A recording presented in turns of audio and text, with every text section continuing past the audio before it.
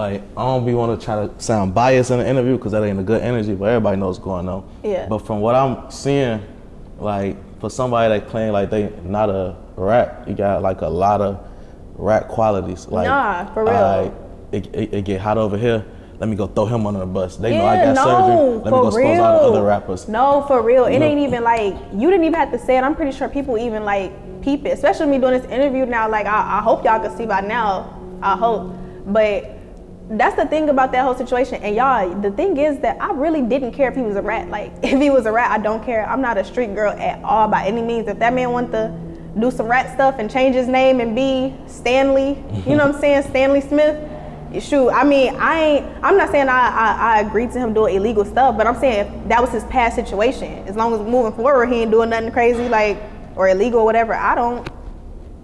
I'm not a street girl. I don't care. Like I, the thing about me is I will like accept any of Kevo's flaws that happened in the past. Just don't be doing that stuff in the present. You know what I'm saying? Yeah. But the thing is, is that I didn't want to like voice my opinion on that snitch situation because, like I said, I ain't no street girl. But he just got too many qualities that give off snitch. That's all I'm gonna say. Like he has way too many qualities. And honestly, like even when that live, when when I had cried on live and it had went viral, I remember him telling me, calling me or whatever personally, and saying like, um, "You got polices all in your comments," and I'm just like, "Huh?" Because like I said, I don't do street stuff, so I'm confused on what he's talking about. He like, "You got polices all in your comments." Um, if they say I did something or whatever, if they get me, I'ma lie and say you did something with me. Kevo ain't never in his life said nothing like that to me, like ever. And I didn't know this man for like six years.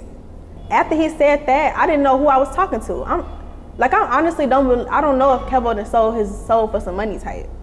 Cause I, he never never went that far to say something like that to me. And I just after that I just knew I couldn't trust him because I'm just like, why would you lie? First of all, I wasn't even around you, so whatever. If he was doing anything, which I can't confirm or whatever, because I never was around him, why would you still lie? You know what I'm saying? And especially, why would you try to lie on me when you know, like, I'm the only one who was really here for you when you had to do your case? Because to be honest, his case with that car, that bank fraud stuff, I wasn't around him. You know what I'm saying? Like at the time, like that case ain't had nothing to do with me. I didn't have to like prove my loyalty to him. He wasn't even my baby daddy at the time. You know what I'm saying? Like I didn't have to make sure I sent this man money every week. Like that was just off some. I I have like a high loyalty. Like I have, I'm very loyal, and I had like a love for him. So I'm just like, I'll hold him down. You know? Yeah. But yeah, definitely with that snitch stuff, it's like who who just if you wasn't a snitch, why would you even say something like that to your your baby mama? Like I'm his wife, but he don't claim me as his wife, so I'm gonna just say baby mama. You know, I don't claim him as my husband either, though. Like just so we clear. We still waiting on that paperwork, man. You know, Honestly, it don't take four hundred thousand dollars in that's what I'm saying, like, just- or not. It's just like you can just put it in, and I ain't like I said, I didn't want to touch base on this because then it's probably gonna make it sound like I'm biased, like I'm here to say like if he's a rat or not. And I, honestly, that's so not the point of this interview. But I just I just want to tell my side because he did some weird shit like that and gonna literally tell me like if he was get got caught doing something, he gonna lie and say I was doing something too.